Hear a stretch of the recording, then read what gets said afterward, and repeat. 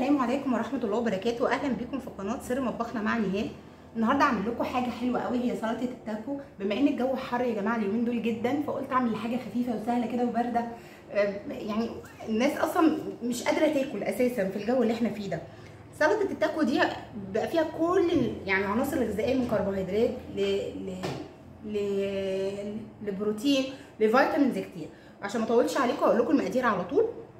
معانا آه، خس ومعانا sweet corn نص كوبايه ومعانا جبنة شيدر وجبنة موتزاريلا ومعانا جزر مبشور وصدور فراخ مشوية ومعانا كمان فاصوليا حمراء ومعانا زيتون واسود ومعانا افوكادو ومعانا كمان بصل ومعانا دوريتوس عشان الحاجة دي الأطفال بيحبوها ومعانا كمان ممكن عيش تورتيلا بنقسمه زي كده ونقليه ونحطه. يعني اللي حابب كده بما ان عندي حزبين في البيت فحبيت أعمل نص كده ونص كده. هنبتدي بقى نعمل الطريقة بتاعتنا.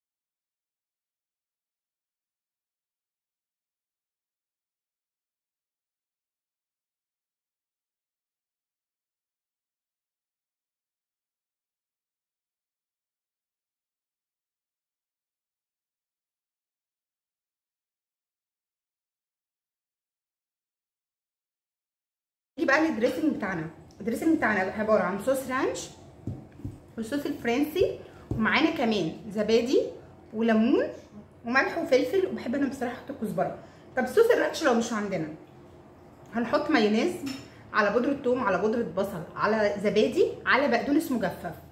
ونحط عليهم كمان ليمون. دي صوص ال ranch. لو محدش عنده صوص ال ranch متاح. طب يعني هل طب ال- ال dressing بتاع ال- ال- ال French ال- ال French dressing عبارة عن إيه؟ هنقول هنحط مايونيز على كاتشب على سكر بودرة ثوم بودرة بصل ملح ملح خفيف قوي وخل وبس. ده ال dressing ده اللي ما عندوش يا جماعة. طبعا الزبادي عندنا. هنحط معلقتين زبادي. تمام؟ وكمان هنحط الليمون بتاعنا. هنحط معلقة كمان من الصوص الفرنسي.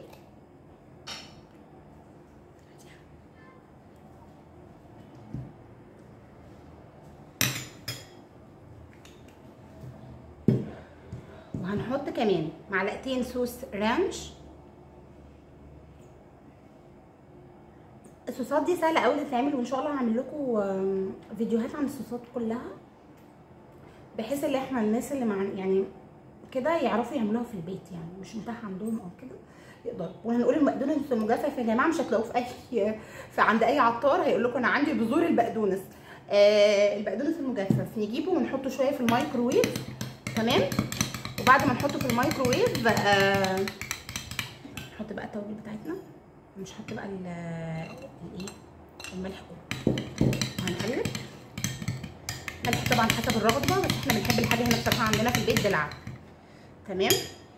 آه بقدونس مجفف هتحطوه شوية في الميكروويف هي هي هينشف وبعدين تبتدوا تطحنوا طب لو ما عنديش مايكروويف يا جماعة ممكن نحطه في الفرن. كده نحطه في البلكونة شوية في الشمس. زي أكننا بنجفف اي حاجة.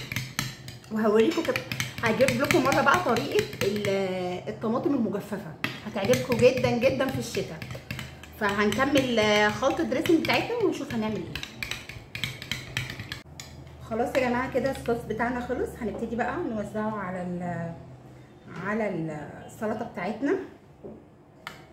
اهو.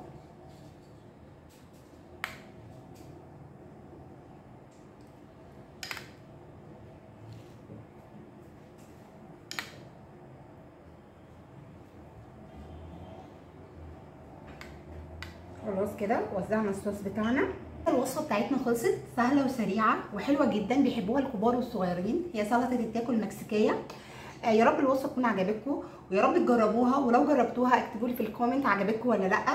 وما تنسوش لو عجبكم الفيديو تضغطوا like و share و subscribe وتفعلوا زر الجرس عشان يوصلكم كل جديد. وأشوفكم المره الجايه إن شاء الله بإذن الله في وصفة أسهل وأسهل من سر مطبخنا. مع نهال وإن شاء الله بإذن الله هيكون في وصفات سهلة كتيرة جدا الفترة اللي جاية علشان الحر اللي إحنا فيه. والسلام عليكم ورحمة الله وبركاته.